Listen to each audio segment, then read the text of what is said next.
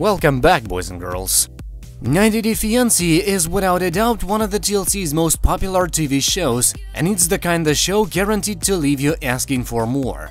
90 Day Fiancé has all the makings of a good show drama, love, heartbreak, and the occasional villain.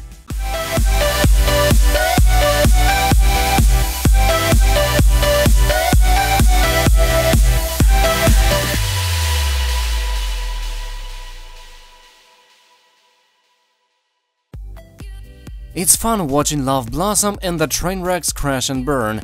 You will find yourself asking whether these people are actually in love or if it's all just motivated by a green card. Fisa. 90 Day Fiancé has been running for 7 seasons and has birthed several spin-offs. That's a testament to the hit show's popularity and it goes to show how invested the viewers are in the couple's lives.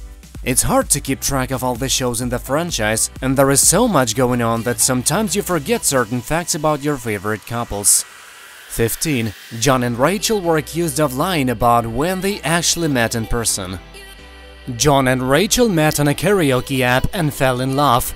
They appeared on 90 Day Fiancé before the 90 days. The premise sees international couples date online before meeting in person, but fans claimed there were too many inconsistencies with their story and that Jon and Rachel actually met in person long before they claimed they did.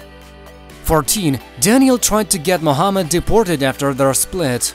Mohammed and Danielle were an odd pair. Their marriage started off on bad note owing to the fact that Mohammed refused to kiss his new bride. There was no chemistry between the two and Danielle seemed obsessed with her younger husband.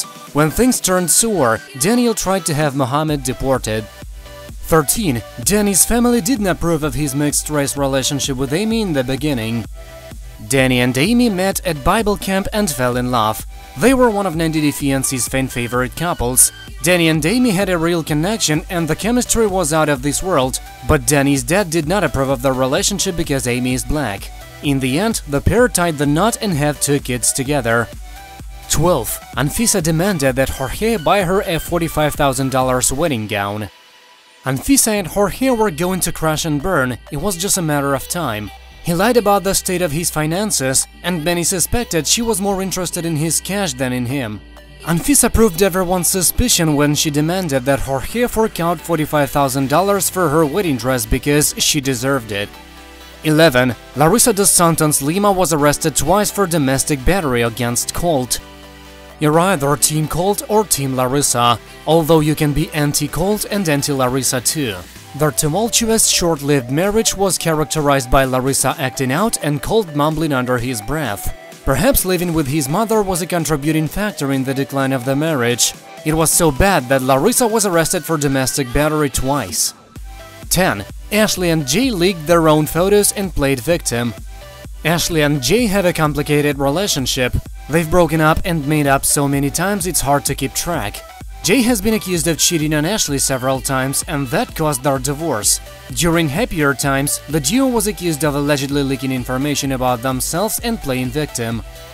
9. Pedro and Chantal's brother River duked it out. It's clear to see that Pedro and Chantal Jimeno are in love and are committed to making their marriage work. However, their families seem to be working against the couple's happiness. Pedro's family loathed Chantal and there's no love lost between Pedro and Chantal's family. He even came to blows with Chantal's brother River. 8. Paola wasn't keen on Russ' mother holding baby Axel. Paola and Russ had a few bumps in the road, but worked out their differences and are now enjoying marital bliss.